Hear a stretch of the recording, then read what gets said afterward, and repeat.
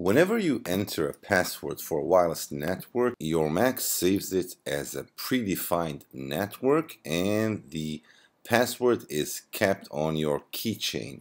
Now, there are times when you need to know what is the password, you have forgotten about it, you want to deliver it to another person. So how do you find the password without getting into the keychain and doing it very fast using your terminal? Coming up.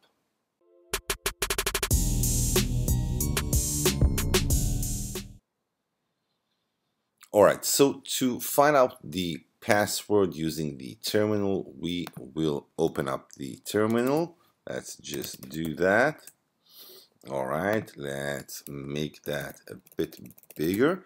And the very first command is security and then find hyphen generic hyphen password and then another hyphen with the GA and now the name of your network. Now the name of my network is uh, offer so let's just press enter and the very first thing that we get is enter your credential, your MAC credentials so let's just enter them